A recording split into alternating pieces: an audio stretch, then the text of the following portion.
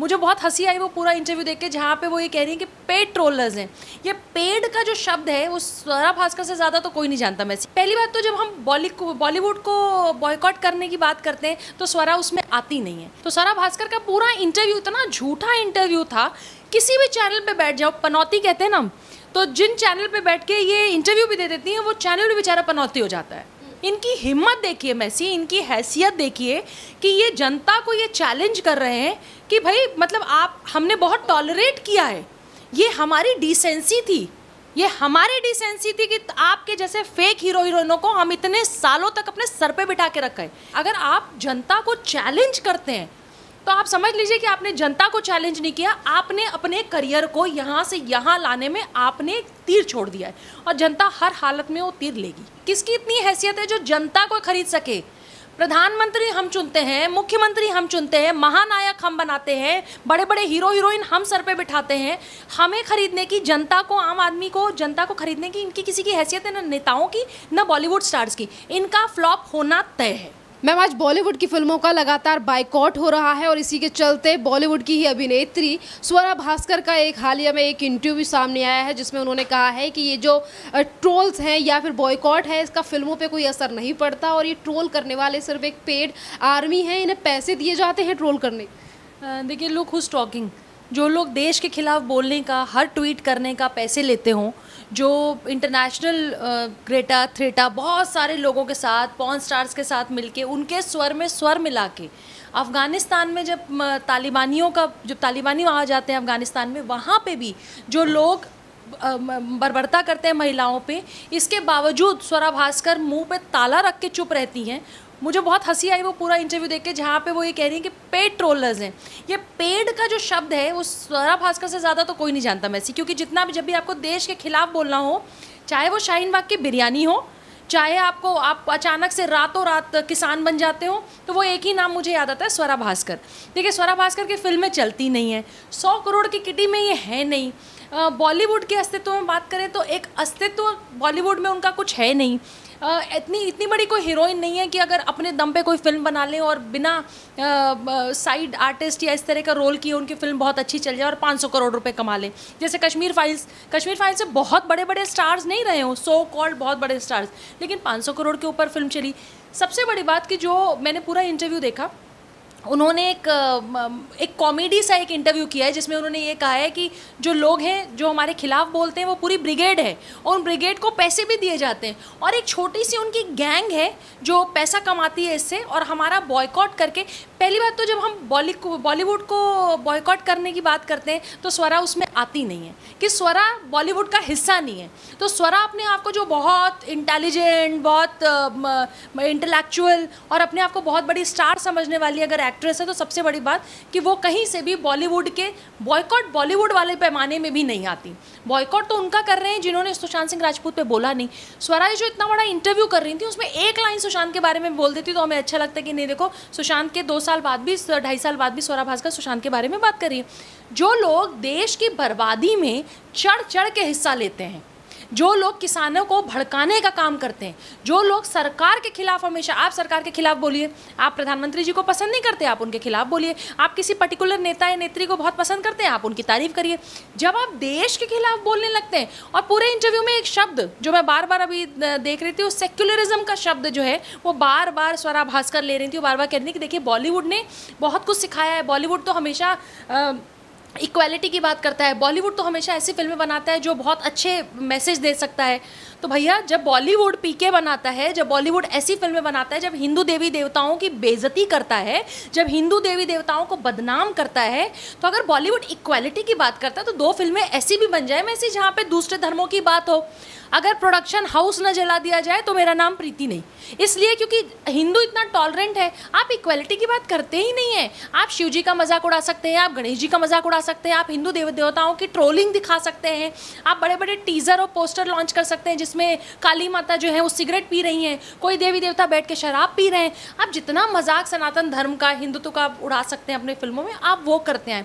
Thank God कि देश की जनता को सुशांत सिंह राजपूत के बाद ये समझ आया कि भैया ये फेक लोग हैं, ये नकली मेकअप के साथ साथ नकली लोग हैं। तो सारा भास्कर का पूरा इंटरव्यू इतना झूठा इंटरव्यू था, किसी भी चैनल पे बैठ जाओ, पनौती कहते हैं ना तो जिन चैनल पे बैठ के ये इंटरव्यू भी दे देती हैं, वो चैनल भी बेचारा पनौती हो जाता है। स्वरा भास्कर के साथ अगर हम बात करें बॉयकॉट बॉलीवुड की तो बॉयकॉट बॉलीवुड को लेकर आज जनता जो है वो थमने का नाम नहीं ले रही है। सोशल मीडिया पर लगातार फ़िल्मों का बॉयकॉट होता हुआ दिखाई दे रहा है और अब नंबर लग रहा है रणबीर और आलिया की फ़िल्म फ़िल्म ब्रह्मास्त्र का, जिस तरीके से वीडियोस और बयान वायरल हो रहे हैं। आलिया भट्ट के, जिसमें वो ये कहती हैं कि नहीं पसंद तो मत देखिए मुझे। देखिए अभी एक फ़िल्म आई थी दोबारा, तापसी पन्नों का। उसमें मैं देखती अनुराग कश्यप बगल में खड़े थे, तापसी पन्नो ने इंटरव्यू में जर्नलिस्ट थी। उन्होंने कुछ सवाल पूछा तो उन्होंने कहा प्लीज़ हमारी फ़िल्म को बॉयकॉट करिएगा। वो जो बॉयकॉट बॉलीवुड है, उस पर प्लीज़ हमारी फ़िल्मों को बॉलीवुड बॉयकॉट करिए, हमारी फ़िल्में मत देखनी चाहिए इतना मज़ा आया। मुझे सबसे अच्छा लगता था कि करीना कपूर ने कहा, कौन कहता है हमारी फ़िल्में देखो, मत देखने जाओ। लोगों ने सीरियस ले लिया। कह रहे, भाई, करीना कपूर खान ने कहा है हमने तो इनको 500 करोड़ की फ़िल्में दी हैं। हम हम जनता इनके, हम हम इस एक्ट्रेस को इतना मानते हैं। हमने इतना प्यार दिया, इतना सम्मान दिया, हमने इसने सर पे बिठाया हुआ है। इसलिए इनकी इतनी हिम्मत होती है कि आज ये जनता के खिलाफ बोलते हैं। इनकी क्या हैसियत है जनता के खिलाफ बोलते हैं? हमारी फ़िल्मों पे, हम, इनकी फ़िल्में हमारे पैसों से चलती हैं। हमने उनको सीरियसली और हमने देखिए, फ़िल्म फ्लॉप करा दी। दूसरी फ़िल्म आई दोबारा। दोबारा भी मैंने सुना औंधे मुँह गिरी है। तो तापसी पन्नोमी ने जो रिक्वेस्ट किया था वो ड्रामा करते हुए कि प्लीज़ हमारी फ़िल्में मत देखो। जनता ने कहा, अरे तापसी दीदी ने कहा है, अब तो मैं फ़िल्में देखने जाएँगे नहीं। वो फ़िल्म भी हट गई। अब इसके बाद आप जिस फ़िल्म का नाम ले रहे हैं, आलिया भट्ट, देखिए, अभी कुछ दिन पहले ही ब्रह्मास्त्र, आलिया भट्ट ने कुछ दिन पहले कहा था कि उन्होंने भी फ़िल्मों के लिए यही बात कही थी कि हमारी फ़िल्में मत देखो। कौन कह रहा है? तो जो भी एक्टर एक्ट्रेस इस घमंड से अब बोलेगा ना कि हमारी फ़िल्में मत देखो, जनता कहेगी, बेटा, अब तुम्हारी बारी। क्योंकि हम कई फ़िल्मों को तो हम ठिकाने लगा चुके हैं जो फेक फ़िल्में बनती हैं, जो एक क्वालिटी की बात करती हैं, जिसमें देश के लिए कोई बहुत अच्छा संदेश या मैसेज नहीं जाता पीके जैसी फ़िल्में बनती, बहुत सारी ऐसी फ़िल्में बनती हैं, जिसमें हमारे देश के एक ऐसे पार्ट को दिखाया जाता है, जो बिल्कुल फेक होता है। हिंदू देवताओं को गाली देते रहिए शब्द बोलते रहिए, उनका मज़ाक उड़ाते रहिए, उनको कार्टून के स्ट्रक्चर में दिखाते रहिए, लेकिन सिर्फ़ एक धर्म को, दूसरे धर्म को दिखाने और बताने की आपकी हैसियत नहीं है।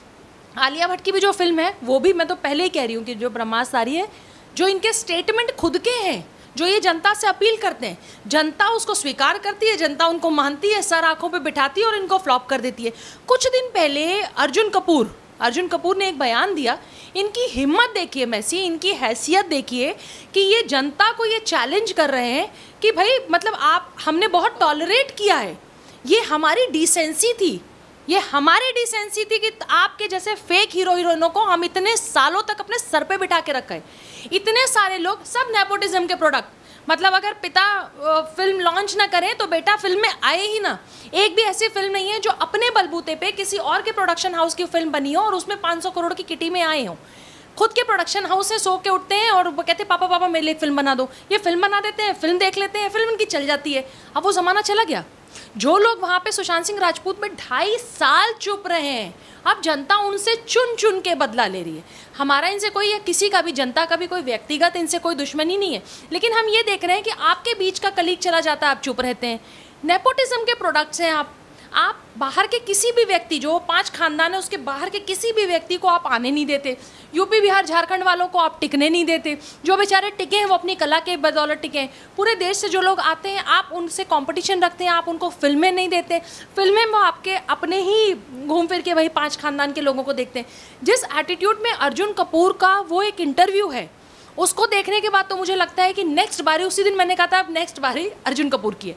अब अर्जुन कपूर की कोई फ़िल्म आए वो नहीं चल सकती। उसी तरह आलिया भट्ट की कोई फ़िल्म आए अगर आप जनता को चैलेंज करते हैं तो आप समझ लीजिए कि आपने जनता को चैलेंज नहीं किया, आपने अपने करियर को यहाँ से यहाँ लाने में आपने तीर छोड़ दिया है। और जनता हर हालत में वो तीर लेगी।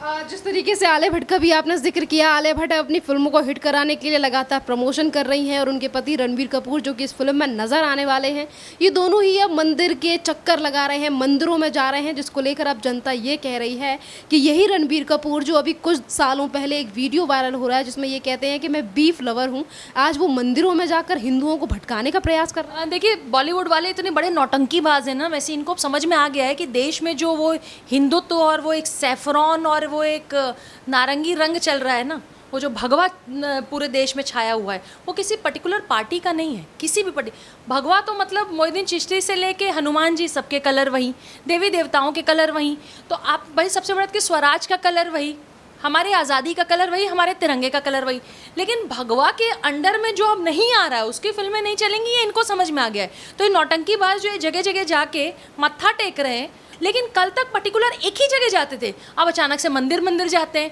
अब कोई मंदिर नहीं छोड़ते। अभी तो रक्षाबंधन से पहले अक्षय कुमार जी बनारस गए। वहाँ पे गंगा जी में स्टंट किया। गंगा जी से कूद के वो नाव पे खड़े थे और वहाँ से कूद के उन्होंने गंगा जी में नहाए, वहाँ दर्शन किया। लोग विश्वनाथ मंदिर गए। कुछ दिन पहले मैंने देखा कि आलिया भट्ट, रणवीर कपूर भी काशी विश्वनाथ गए, बनारस गए। मंदिर ढूंढे जा रहे हैं। कहाँ कहाँ मत्था टेकें? लेकिन फिर भी इनको जनता स्वीकार नहीं करने वाली। आप कितने भी मंदिर चले जाइए। जैसे हमारे पॉलिटिकल पार्टी के राजनेता होते हैं, वैसे चुनाव पास होता है ना तो ये आपको अयोध्या में दिख जाएँगे। इनको राम जी याद आ जाएँगे, इनको हनुमान जी याद आ जाएँगे। उसी तरह बॉलीवुड के नौटंकीबाज कलाकार भी है। जैसे ही इनकी फ़िल्म आने वाली होती है, ये अचानक से दो तीन दिन, चार दिन पहले सब मंदिरों में जाके दिखाते देखो हम सनातन धर्म को कितना प्यार करते हैं। जबकि आज तक जो फ़िल्में बनाते आए हैं, या जब बॉलीवुड में ऐसी फ़िल्में बनती हैं, अरे आपको सनातन धर्म से इतना प्यार है तो पाँच अगस्त 2020 को जब राम मंदिर बना तो देख लीजिए आलिया भट्ट और इनका कोई ट्वीट है क्या?